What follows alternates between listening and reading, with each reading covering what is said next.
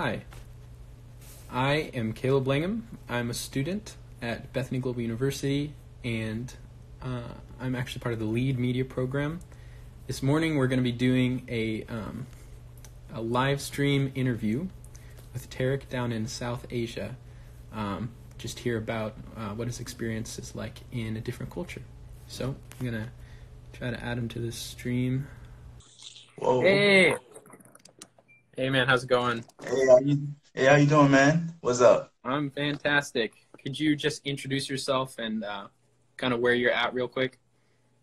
I um, I am currently a senior. Um, as many of you guys know, at the university. Um, my name is Terrique. I am from New York, and I am an intern, um, eh, located in South Asia. Sweet man.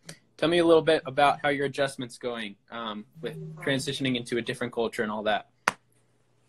Um, there's a lot, man. There's a lot Yeah. that goes into it. I, I've kind of just being just being able to be here is just uh, patience. Patience is definitely a thing that I would that I'm going through and uh, still learning and still being taught. And um, just being able to have the patience, just to be able to integrate with the culture. It's not an easy process.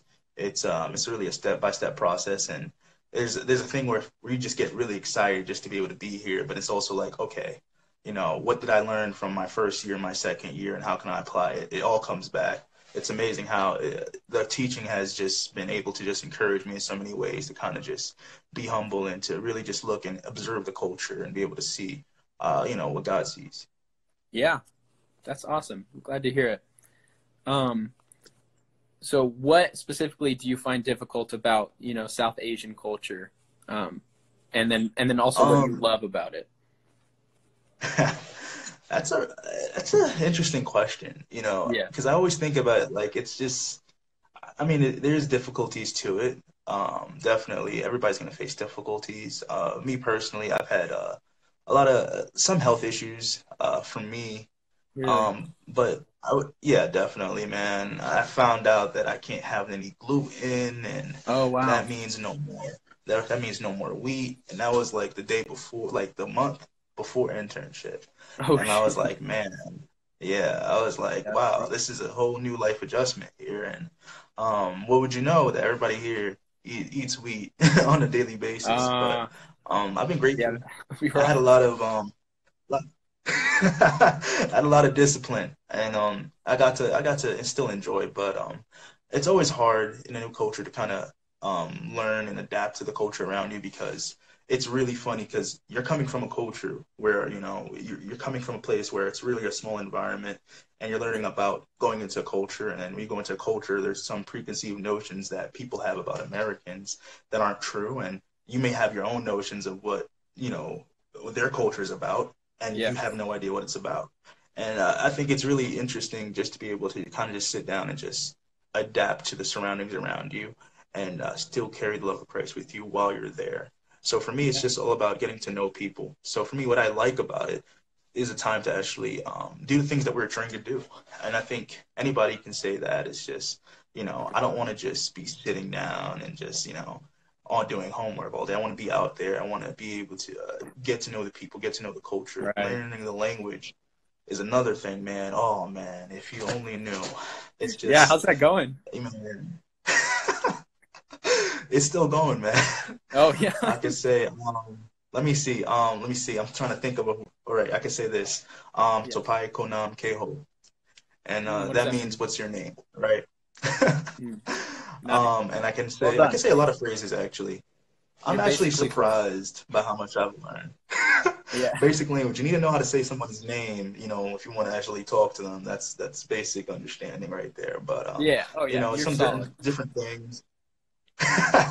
So I could ask someone their name, you know, I could see a smile come up their face. So, um, Yeah. um, but yeah, it's just um, it's amazing to kind of just see like you know the process that God's bringing me through, and you know I've made um, some friends here, and um, God's been opening up a lot of doors. Um, first year in the TEM major, and uh, so many doors been opened up um, in the last couple of weeks and months and building up. Um, recently, I went up and I went to uh, plant some coffee beans, and um, I'm from New York, so I don't I don't do that.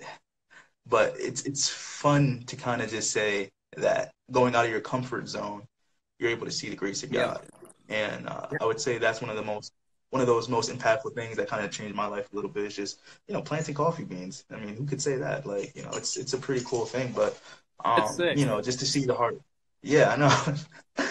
I mean, it's, it's it comes from I'm I'm from a completely different background. You know, used to um, kind of a city lifestyle, and you find find myself thousands of miles away from home, planting some beans in the ground, and you think to yourself, "Wow, where have God brought me?"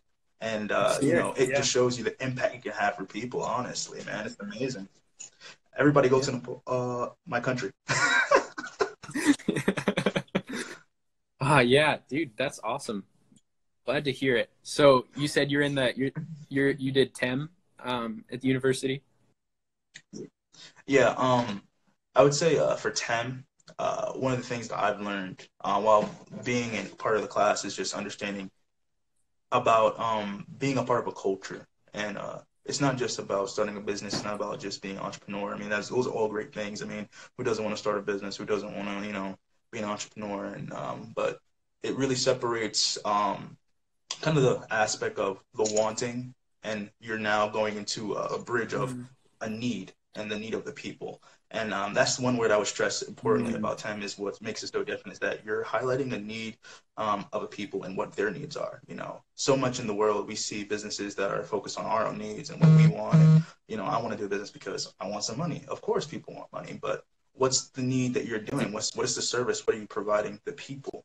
And uh, it let me look into myself and um, just the people here and you know seeing the different problems that they have and uh, we all have problems and one of the greatest thing about having a problem is that you're, you can be a part of a solution. And uh, i think i see that a lot um, just being here you know i mean like right now like you have a cup in your hand you're probably drinking what tea or water? What is it? Yeah. It's bengal spice tea. You say you're drinking some nice tea man. That's some really oh, good yeah. tea. Now Amen. being in, in my country I mean, I'm more of a black tea man myself, you know. Okay. I but I mean, I, I, gotta get on those prices. Give me some tea when I come back. all right, all right. I'll show you. um, yeah, one of but one of the things I've noticed, like just being here, is just that um, the people here, um, uh, for example, like they have a, a shortage of water, you know, and I would not expect that. You know, something that we have as an everyday supply. You know, that we don't think twice about you know someone else is like you know i you know we don't think twice about than what we have in the states we can drink water but here you know that's actually a thing they have to manage uh, wow. so it shows you a lot of the people and their needs and i think for me it was just what can i do to kind of change that and you know and what kind of how can i model my business after the needs of the people and their hearts um, because it's not wow. about making money. It's not about um, just having a business just to have a business, but it's also about you know impacting people. And through that impact of people, you know, you can then change lives. And I think um, I think we're all in the business of seeing people's lives be changed. So, yeah, amen, brother. That's awesome. Yeah. yeah, sweet. I need to get some of that tea, man. I want a mug. I need a mug. Where I, I got a mug somewhere, man. I'm gonna, I'm gonna drink this, man. Yeah, go for it. Love tea. just a just a little informal conversation, drinking some tea. Just two brothers. Love it. Um, Drinking some tea. Yeah. Amen. That's how I like it. Um, question with with because you're talking about you know learning the culture and kind of learning language and stuff. Do you have, have do you have any like stories of maybe awkward blunders you've had, whether it be culturally or uh, linguistically? You know. Yeah, my team will never let me live this down. Let me just tell okay. you, man. Please do. See, I'm one of those people that I, I learned by a lots and lots of practice, and I get a lot of things wrong, and I'm okay with getting things wrong. I embrace it, man. If I'm gonna screw nice. up, I'm gonna screw up. So it was like for a good month. Um, we learned the word for showing respect for like the guys is um, it's uh we call them die. You know, die. That means like a big brother. So you know anybody who's okay. older uh, male, you would call them die, which is a big brother. It's a sign of respect. It's like showing honor. You know, like you know, if I called you like Mister Caleb, you know, it's like an honorific. Um, yeah. and there's another term for women where they call them Didi, you know, and that's a term for you know women um, that are older than you. Uh, so Mm. uh, for me, for a month, um, I guess I didn't learn um, the die part. It guess it, it just vanished into my mind and my brain and my subconscious. So for a good month, I was calling all the dudes big sister, and it, and um, I, I would say they heard this right, and uh, they said to me, Yeah. "Why are you calling him big sister?" And I said, "What do you mean? I call this to all the shopkeepers, man. This is the way you're supposed to say it. Remember that one practice we did? But that was a lady that was in that practice, Terrique." And I was like, "Oh." Oh, oh, man, this it makes so much clearer why everybody looked at me with a little bit of a, you know, gleam in their eye, and I was like, oh, okay, this is uh, this is uh, this is hurting some relationships, but uh, you know, I corrected Yeah. it within the first two months, and uh, you know, I didn't make that mistake again. I'm glad to hear it. Oh man, that's rough. I mean, Yeah. honestly, the best way to learn is to get things wrong, though. So at least you will never forget that. Yeah, trust me. Yeah. Another story I got is that um, Yeah. there's a word right because I, I like I like meat and I like chicken and um, people here don't really eat a lot of meat.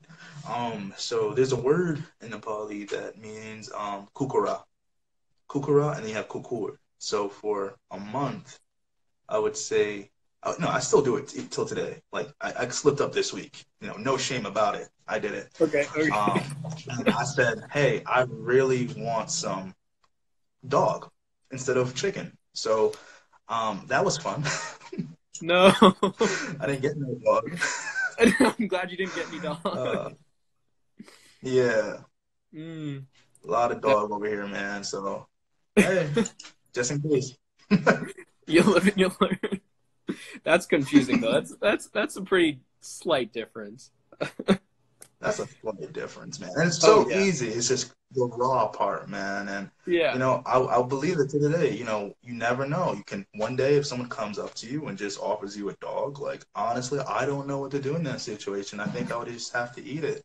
I wouldn't want to, to but you know, I would, I would just, I would have to go with the flow, man. Just eat the dog, man. Sometimes you just gotta. you do what you gotta do. Hey, man. I don't know. Maybe we should do that for like, you know, like uh, we still have that thing that we have like every year where we have uh, people come and visit, like uh, campus review, right? Yeah.